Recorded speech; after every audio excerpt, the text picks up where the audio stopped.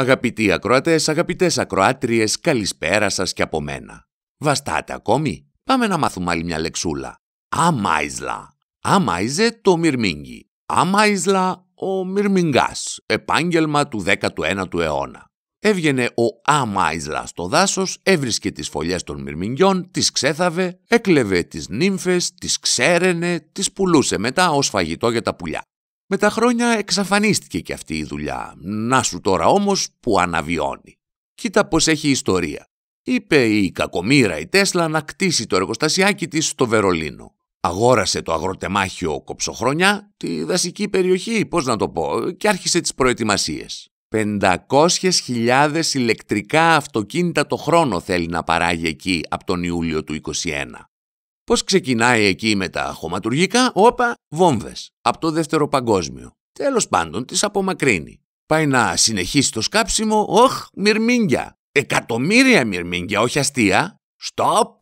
Το μυρμήγκι του δάσους είναι προστατευόμενο είδος στη Γερμανία. Geschützte Art. Δεν γίνεται να σκάψει. Πρώτα λέει πρέπει να μετακομίσει τα μυρμήγκια από κοντά χίλια στρέμματα. Να σου λοιπόν το νέο επάγγελμα. Ameisenwarte. Φυλά σκοπιά για τα μυρμήγκια. Μωρή για πότε θα ρίχναμε ένα DDT εμείς, λαμπίκο θα της το δίναμε το οικοπεδάκι της Τέσλα. Αλλά πού, από όσο ακούω και αυτό το εργοστάσιο που θα έκτιζε υποτίθεται στην Ελλάδα ο Καουμπόης, μάλλον για Βουλγαρία το πάει. Τουλάχιστον θα μας μείνουν τα μυρμήγκια. Επένδυση δεν είναι και αυτό. Φίλες και φίλοι ακροατές σας διακόπτω και πάλι. Μ, ανάγκη που την έχουμε την Τέσλα στην Ελλάδα. Άμα είναι να μας ζαλίζει τα μυρμήγκια, να μη σώσει κέρθη. Τώρα άμα οι Γερμανοί γουστάρουν να τους τα μετακινούν, δικό τους θέμα. Γερμανοί είναι, τι να τους πεις. Αποτελεσματική μια φορά είναι οι άτιμοι. Χρειάζονται τώρα ας πούμε λίθιο. Για τις μπαταρίες για τα κινητά, για τα κομπιούτερ, για τα αυτοκίνητα, για τα υποβρύχια, για τα αντικαταθλιπτικά.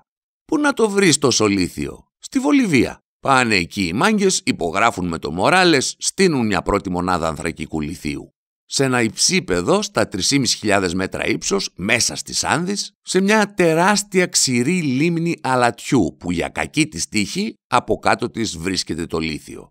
Μοναδικό τοπίο, σπουδαίο οικοσύστημα και το δεύτερο πιο σημαντικό αξιοθέατο της χώρας.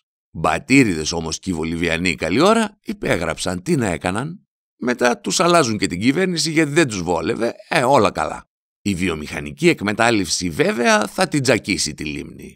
Πάει και αυτό το μαγικό μέρος. Γιατί; Για το λίθιο ρε, η λίθιο θα σου πει ο Γερμανός. Οκ, κατανοητό.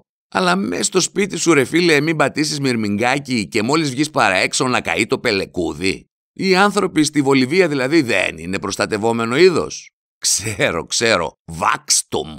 Εμ, αυτό θα μας φάει. Το δικό σας το βάξτουμ. Η ανάπτυξη.